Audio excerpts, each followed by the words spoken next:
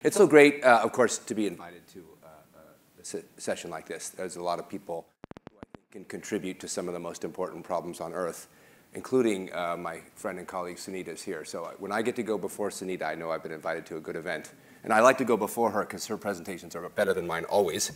So that's, that's good. Um, I, what I I can't speak to you with the same depth as uh, many of the professors can speak to you about, about individual items. I'm going to try to take a broad look. It's, it's, what, it's what MBAs do, and it's certainly what CEOs do. We take broad looks, um, and then we sort of say, tell people to handle it. But, um, and, and, I don't mean to be glib about that. I just mean to say what I'll hopefully give you is a broad perspective about how industry is looking at things, and then you can take it from there. Uh, before, and before I do that, though, I'm going to do just a brief introduction. I just kind of want you to know like where I come from and what matters to me, because I think it forms, probably gives you some context into why I'm doing what I'm doing. And then I'll talk just very briefly about Cummins. I promise it's not going to be an ad, but many of you probably know Cummins as an engine, diesel engine company. So you might be, what, why are they at a hydrogen conference? So I thought I might just say two seconds about that. And then I'll get into hydrogen, et cetera. OK, so uh, introducing myself. Uh, the older I get, the more I like to use 10 year old pictures of me to introduce myself. I just like to remind myself and others that I was young once. Um, but that's me at 10 with my mom and my brother. Uh, we grew up uh, just down the road. I went to elementary school uh, at Willow Elementary School, which is at the end, other end of University Avenue uh, before you cross 101. And um, my mom and dad were both from uh, homes where they left before high school was over. And they married very young. They, went, they met at San Jose State University. and got married very young, and I was born not too long after they were married. And so, uh, you know, they had a, how do I describe it, tumultuous early uh, uh, years in their marriage. And it ended abruptly after six years. So my parents were divorced when I was uh, just, just six, and my brother was, was two. And then uh, my mom was on her own, and she had just finished a year of school. She uh, moved in with another family, so we had an, there was another uh, divorcee with two kids. So we were like the Brady Bunch, but with divorcee moms. You know, it was a, it's an interesting group. We all lived, we all stayed in bunk beds, but we did that when we, that's when we went to James Flood School. But point is, we my mom had to figure out how to raise these two unruly children. You can see we had not combed our hair all year. That's the best looking picture we had from this year, by the way. And but she did. She went back to college um, at night she got her occupational therapy degree. Uh, we were on welfare during several of those years. Um, and she you know, used government services to support her, but still kept going to school and working all the time, working. And because of that, uh, I, I, stand before you. So I just wanted to just note the fact that I come from a place where I, I think my mom really kind of lifted us. And, and, and without that, I, I, did, I just appreciate the fact that I'm, I'm here because others helped. I guess. That, and that's kind of where I start my, how I think about my obligations as a CEO and a leader, are to recognize that not everybody starts from the same spot, and we have to figure out what we're going to do to give everyone a shot to do, to become their own personal CEO, or whatever it is they want to do. Um, this is my family today. Uh, I have two daughters. They're to my left and right there at this table. We had this, this uh, wonderful uh, bubble inside of a tragedy, which was COVID-19, that my, my, my daughters both are grown. They're out. They're, we had to go through that whole um, empty nest syndrome where they left and you know, our, our, our wonderful uh, daughters left and did what they're supposed to do is get a job and, and work and support themselves. And they lived in New York City, and New York City was, as you know, kind of one of the ground zero areas in the US when COVID, so they all said we need to leave, and they drove home and spent five months with us, with their boyfriends, a roommate, and a cat. Um, and, and, fortunately, I had to upgrade my internet right before they came, so we had really good internet, and we all worked in there from work from home. And so, as a CEO, I learned about why working from home works. I learned about how uh, to get along together as a family. Uh, I learned about their boyfriends. They live, our boyfriends, their boyfriends lived with us for five months. Think about that for just a second.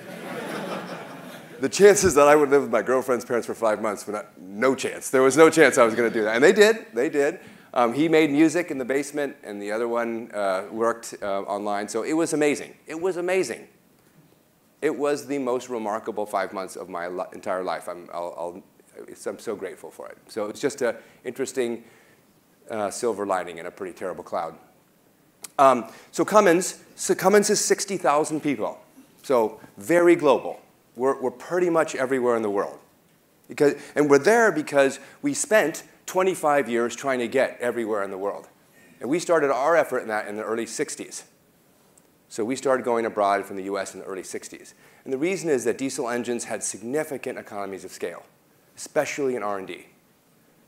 If we could spend a lot of money developing engines, uh, we could then sell, and we could sell more, we could spend more. That was essentially the idea. The more we can sell, the more we can spend. Because everybody made their own. Everybody made their own. When Cummins started 100 years ago, everybody made their own gasoline engines, and nobody wanted a diesel engine. And we were the startup company that said, no, you should use a diesel engine, in the US anyway. We, we licensed it, of course, from MAN and Rudolf Diesel in Germany. But anyway, uh, once we got it here, we were the company trying to start, get everyone to do diesel.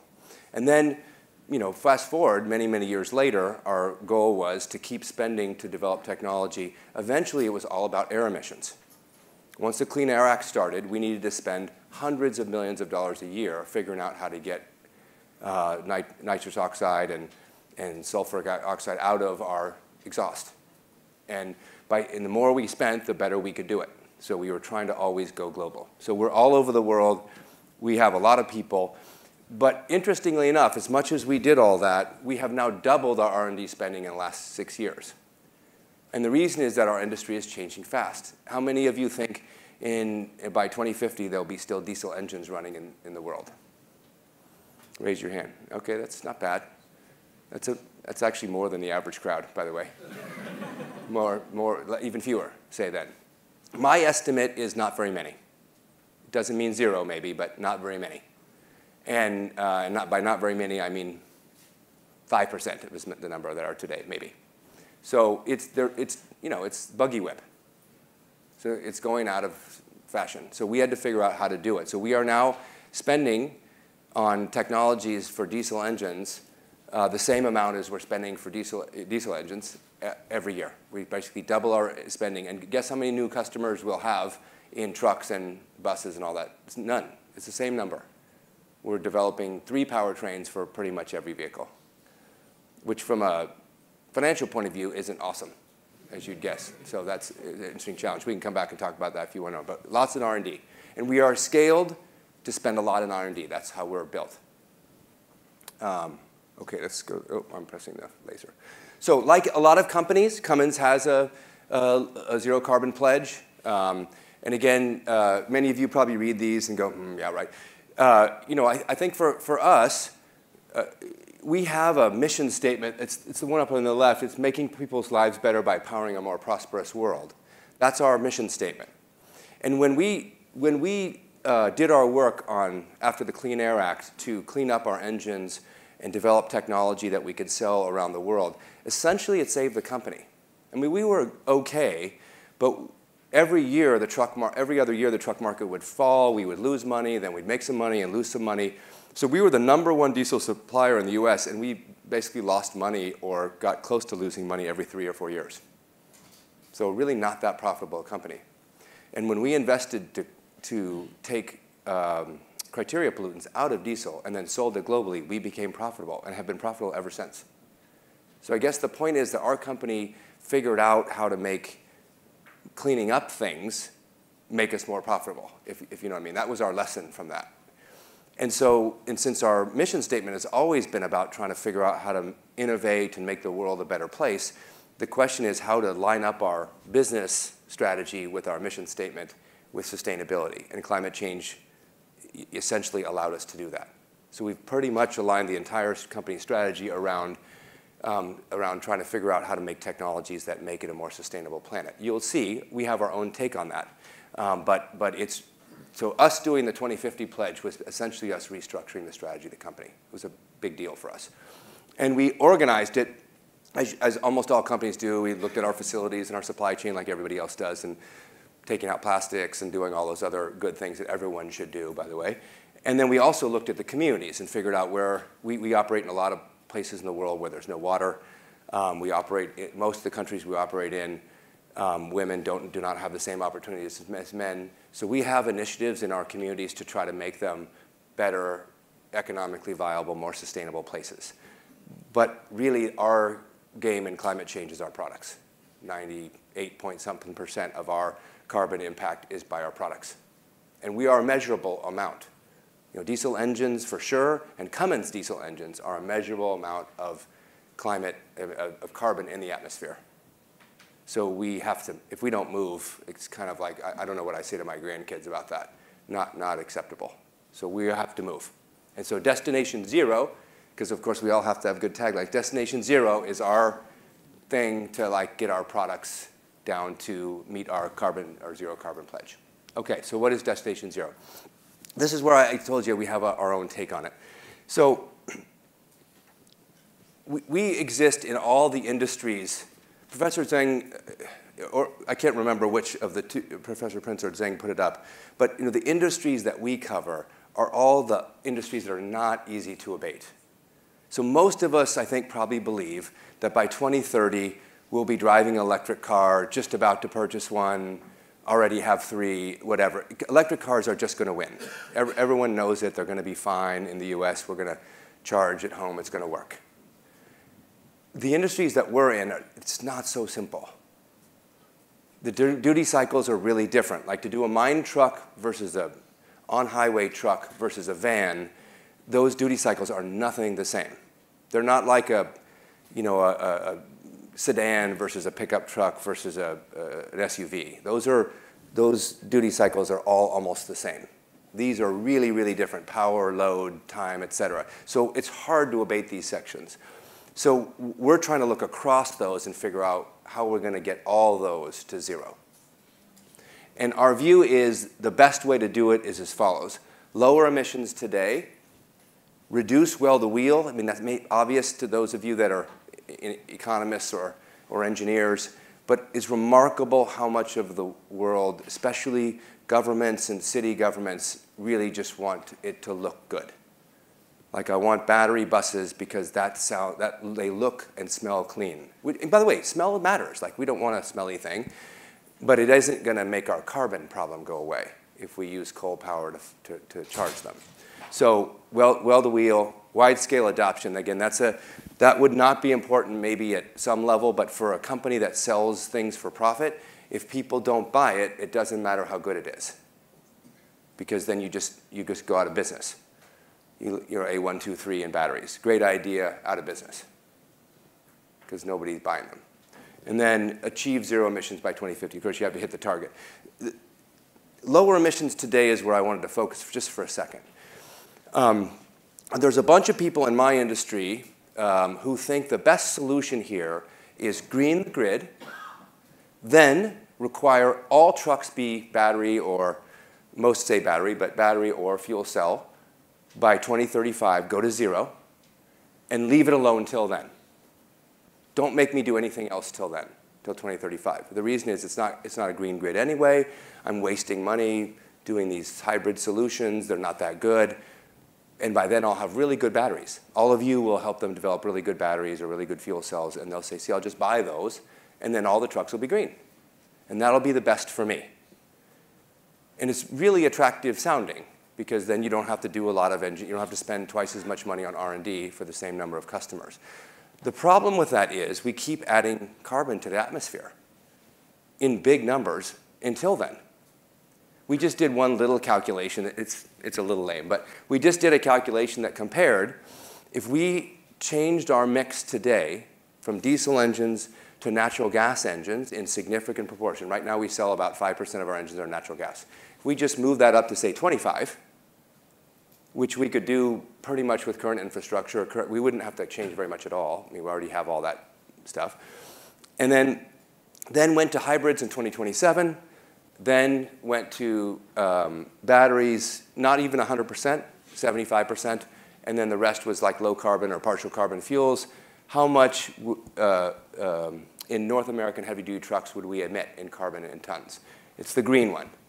The other one is we, wait, we did the industry one, 2035. But this was, uh, the, the, the, black one was just go to 2035, then go all zero from then on. The problem is it's way worse. That's three years. By the way, the difference between those endpoints is three years of trucks running, all the trucks in, on the road running. It's a big difference. Only point I'm trying to make is start now. So all the proposals that say wait till it's ready, till the, the technologists save us, I think are, are just you know, postponing action, it would be my view. Okay, I'm going to switch to hydrogen. So hydrogen, um, I was, this was the page where I could give you all kinds of statistics about the industry, how much hydrogen produced, what industries, but the good thing is our two lead professors already covered that, which is why I didn't put any bullet points. I just thought, I'll see what happens. They already covered it, I'm not going to say it. Hydrogen, they already covered. Hydrogen looks like a big opportunity because it can store, it actually can be a transportation fuel. It um, already used in a lot of industries that are really dirty. So if we can decarbonize it, that's one of the best opportunities to decarbonize those industries. Big darn deal. Um, our problem is dispatchability and cost. Dispatchability and cost, which I thought Professor Prinz did a really good job of covering. So it's not about whether it's good, it's about whether the cost and dispatchability works. It's only about that. Right? And you, I, I, thank you for putting up that study, by the way. I read that study. It, there's, there's been several really good studies comparing battery electric to fuel cell electric in trucks, for example, which is one of the biggest applications. And they're all, they all come out exactly the same. Depends on charge time, dwell time, et cetera, but they're basically the same answer. I mean, in, in our scope here for the economic work, doesn't matter. They're fine, both fine. The issue is, is there a charging infrastructure or a hydrogen infrastructure? So people like me aren't going to decide whether fuel cells or batteries win. It's all going to be about what infrastructure is built and what the cost is. That's simple. Okay. So the Hydrogen Council formed because we recognize two things. One is hydrogen is not a, is not a transportation fuel today because it's too expensive and not available. Two is it's not going to be available and, co and cost effective unless we have what people kind of term a hydrogen economy. Unless there's multiple uses of hydrogen, it's not going to make it as a transportation fuel. There has to be other things you're going to do with it. Because you can't, there's no way to get there to build all the stations and everything. How, how you, if you don't have any trucks that run on it, you don't have any, you're not going to have trucks that run on it until you have stations, and you, are just going to chase your tail and you're not going to get there. So how are you going to get there? You're going to have to have a hydrogen economy, use it for storage, you use it for, for steel, use it, that's the only way it's going to get there. So the idea is we need some scale to the whole operation or it's not going to happen. That's number one. And number two is we need something like 111 or it's not going to work. So we all came together and said, what is industry going to do about that? We were not convinced that um, government was going to solve it. That's not surprising, nor should they have to. So what's industry's role? And we started this, we got this hydrogen council together. And you can look across the names. These are big, I mean, these are big companies. These are companies with enormous resources. And the weird thing is when you go to these meetings, by the way, we haven't gone to them physically for, for a couple of years, but I went to them, uh, you know, when it opened, started few, several years ago, and when you go to them, all the CEOs show up. Not one or two. All the CEOs of those companies show up. Airbus, all of them. And they sit in the hotel room, they listen to the plenary, which is really boring, and then they all meet in the corners of all these offices and talk about what we're going to do together to do a project. I mean, all over the place, they, they meet and talk and figure out what to do, which is exactly what you want us to do. So we're all spending money collaborating with each other, trying to do projects that actually, because it turns out almost every hydrogen driven, especially for transportation or chemicals or ammonia, it's all out of the money. Like none of it makes, it makes sense today economically. Without subsidy or significant carbon pricing, it's not close. You know, if I, if I made you a fuel cell truck, which I, I have made a few, um, it would cost you a half a million dollars. 600,000 maybe is what I could make it for. 600,000. I can sell you a diesel truck for 150,000. And it'll run better, it'll go better. So the point is, it's, it's, not, it's not like we're, we're, we're, we're not this close. And, and by the way, the battery electric version of it is probably 350. So neither of them are very close. They're both a ways. And that, I don't mean a ways even in years. I just mean a ways in scale. You know, we need to make a lot more of them. Uh, but they work. They work. I mean, I can drive it. Uh, we're running trains in Europe now. Uh, we'll have 40 by the end of next year, uh, and they're carrying passengers, and passengers are getting to their place on time and everything. That's all working. The issue is, you know, they're subsidized significantly. And, and, and that, I think that'll remain true, by the way, all the way through, probably through 2035 even. There's going to be, a, I guess what I'm trying to say is there's going to be a price to pay to go from technologies that are more than 100 years old using fuels that we get, we, we dig out of the earth, you know, not for free, but for all intents and purposes, not that expensive per, per barrel to get them out to a situation where we're all green, we're having to build much more sophisticated and all new infrastructure and siting new transmission lines. It, how can it be free? So I would just say avoid, all, uh, ignore all the charlatans that tell you you can have it for free because it's just not right. It's going to be expensive. So the question is, you know, how do we get it? How, what do we structure ourselves to do to, to pay for it? But these people are all working on that. Industry is all working on that. And the projects are ramping. So this is just a, this is from the Hydrogen Council. This is all the projects that are going on around the world in different, all those different areas that Professor Prinz put up. Everything is, we're working on all those areas. And companies are spending real money, like their own money, uh, investing in all these projects. If you look at the density of the bubbles, if the density of the bubble relative to the size of the economy looks small in the US, that would be a correct reading of this chart the US is not investing at the same level as, say, the Europe is or Asia is. It's particularly, especially given the size of our economy. But that said, uh, Sunita will tell you, you know, US is also ramping up and starting to, to find projects that may, but, but again, if I had to say, five years behind, probably. And then this is another chart showing acceleration. Um, I like this chart because it shows you the difference between uh, they have a, two categories, mature and announced.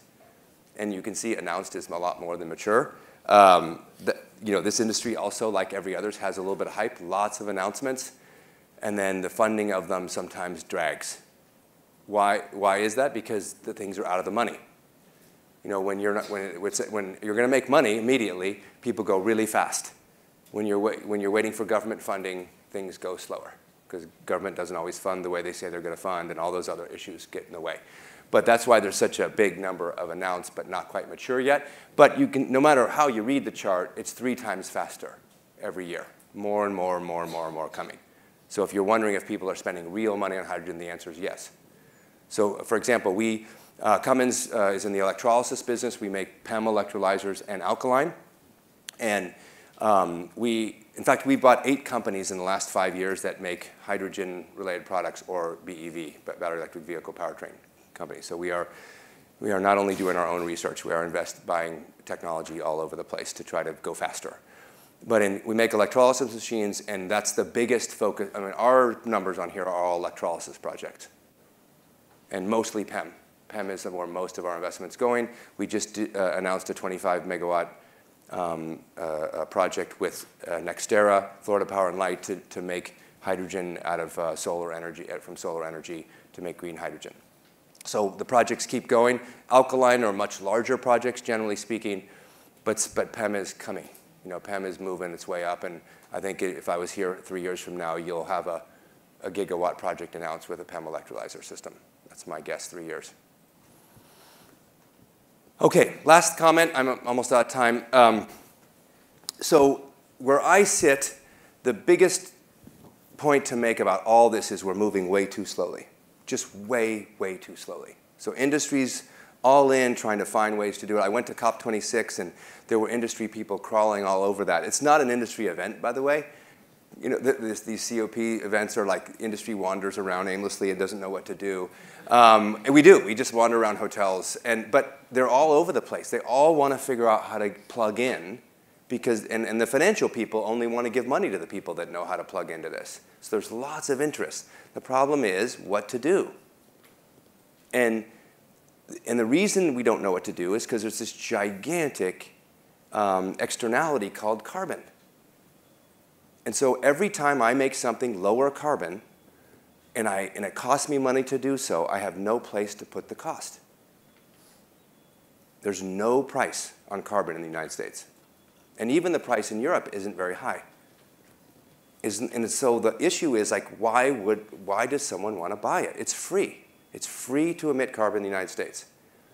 And I think we've almost given up challenging that proposition. I hear things like environmental justice concerns and all those other, and I'm concerned about those things too. Like, I don't think poor people should have to pay for all the carbon. And I get what regressive taxes look like. I get it. The problem is we're not moving close to fast enough. So I'm looking for anything that's going to move it faster. And my view is a price moves things faster. So I do not understand why we think industry is going to solve this problem with no price on carbon. It's just not realistic.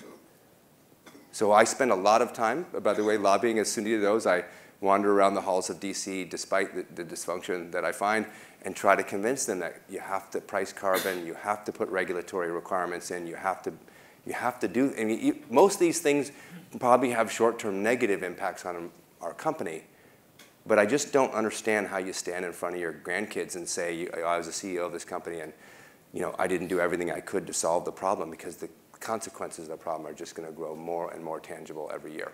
So that's my, my last pitch was nothing to do with hydrogen. Is if we put a price on carbon, though, hydrogen projects will get done a lot more. That's simple. All right, that's what I had. Thank you. Arthur, do you want me to take questions? Do you want me to take questions, or you're kind of... Yeah, maybe, maybe we can take one or two, it sounds like. Sorry, I, I went right. I was supposed to finish earlier, as you guessed. Any questions for me? You can ask about the Hydrogen Council or about Cummins. Both are fine. Sir. So what's the reasonable price on carbon Yeah, so he asked what's the reasonable price on carbon. And I have been, I've been hanging with some of my policy friends from Resources from the Future and things to try to learn what the price should be. And I realize that I'm incredibly unsophisticated about it. They have very sophisticated models, none of which I possess. I have gone on their carbon pricing thing and looked at it.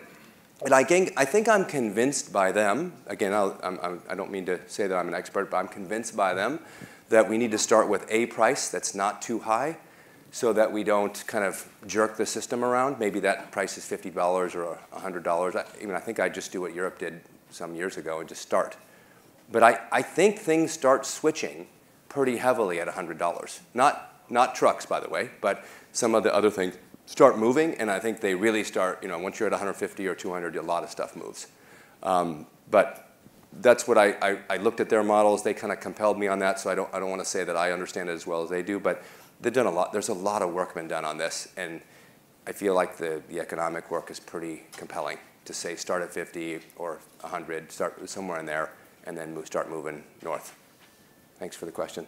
Sir? Yeah, one question on your R&D. Yeah. How you think about it given the price disparity between a diesel, a battery electric, and a fuel cell electric, and given this carbon uncertainty, how do you think about R&D spending and priorities about advancing cleaner engines, mm. hydrogen, fuel cell, burning, not burning, you know, how do you guys think about the R&D given the uncertainty? Yeah, so what we've been doing is we've been telling our investors that we are going to invest a lot of money in um, battery electric and fuel cell electric powertrains and electrolysis machines, and we're going to lose money we're going to lose money for a while.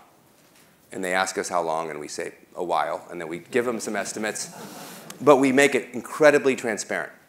Right now, it's about $200 million a year. We're going to, so that we sell some things, by the way, for a profit. So 200 million is the net, but 200 million we're going to lose this year. And we just keep telling them that much. And then we tell them how much this other company makes, the, the, the internal combustion engine company makes. Isn't that good? And we keep make, trying to get that one to make more and more money. And then we and we spend money there too. We're, we're launching a whole new platform of engines across every that's fuel agnostic. So every, every engine we make, you'll be able to put hydrogen fuel in it, gasoline, natural gas, renewable fuel, renewable natural gas. You can put it in that same engine. We'll have a different head and some different fuel systems, but basic engine platform architecture will be the same. So we're spending money on engines, internal combustion engines too, because the people that raise their hand in the back, we think will be selling those for a long time. Not as many, and they'll have different fuels, but we will sell some. And then, and for a while, we'll sell almost all those. And then we're, we're arguing that th this investment's worth it because it, it eventually pays off. But honestly, without a carbon tax, it's kind of like, you know, it's a, I, I think of it as a Larry Fink bet. You're basically agreeing that it's going to change sometime. That's all you can say, really. Last one, I think, yep. Yeah, Tom, uh, great, great talk. First Thank off, you. thank you very much. Appreciate it. Um, what can the university do? What, what are some of the things that we should be doing while we're here, you know, while we're waiting on the carbon tax, but to help industry along? Yeah, uh, it's an excellent question. Uh, Sunita and I were joking that all of us think that we're the center of the universe we, because we all, we all have our, our own thing on it. So it's always hard to think about what the other sector should do. I know what government should do is build infrastructure, build grid fast. What I think uh, universities might be able to do is to be conscious of where the significant costs are. One of the things I love about this idea of looking at energy systems totally is, as I told you, actually making better and better fuel cells to beat batteries or making better batteries to beat fuel cells probably doesn't win us or lose us the race. What wins us and loses the race is how do we get dispatchability and cost in, this, in the infrastructure fast. We need renewable, renewable grid and we need dispatchable energy. And actually, it doesn't even need to be a dollar. If it was 250, truck industry would still go. Even at 250. It won't at 10. I mean, it's real price today. If you want to make, with electrolysis, you want to make hydrogen in the California, it's probably $10 a kilogram. I mean, it's not close. SMR is $1.50 or 80 cents, and I'm at 10. So we trying to figure out how to get the, the grid and the infrastructure at affordable cost is really, honestly, the difference between deploying technologies and not, as opposed to, I mean, we will get, the fuel, the fuel cells will be there, I can assure you. It will be the other problem. But thank you very much. I appreciate your attention. Thank you. Oh, sorry. Oh, sorry. I just would like to add your, to your comment about what the universities could do. And that is to be honest about both sides of the equation, not just the wonders and uh, desirability of green energy, but also the implications of getting there, the costs, the investment, the, um, the implications on creating shortages and, and outages in other critical desirable materials, such as uh, the things that go into making the battery. Yeah, cobalt and nickel and things like that. Yeah. Universities need to be honest about Yeah. teaching about the whole spectrum of moving to greener, of greener climate. Yeah, it's, su- it's such a good point. I mean, I, I think probably that's where you were hearing my um, destination zero idea of starting today was trying to take into the practicality points that, that we won't actually have hydrogen dispatchable for fuel cells in 2025. It's not going to happen. So why not use the stuff we have today and start moving? Because practically speaking, we can do that. It's a really good point. And I would compliment Fritz, um, Prinz's comments on the need for universities to work with industry. Mm, well, thank you very much. Thank you. And thanks for your support of this initiative. Thank you. All right. All right, please Yeah. join me in thanking Tom. Yeah, thank you. Uh-huh.